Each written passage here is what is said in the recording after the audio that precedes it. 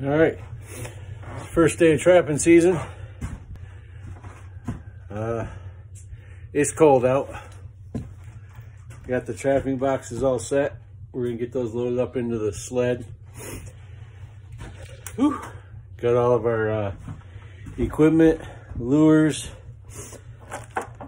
We got our little spring little loader thingies, scrumpers. Got our active trap line. I like to mark it so trail marker and then a caution trap set for people or dogs if they got their dogs out there. But where I'm going, I don't think there's going to be anybody out there.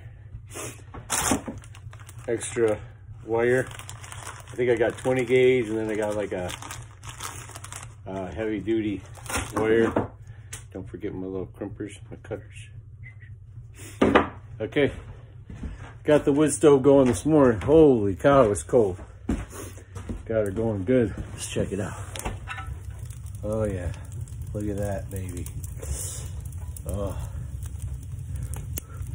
still see my breath though. All right, let's go check out how cold it is. Yeah, it's cold. All right. Got the snow go warming up back there.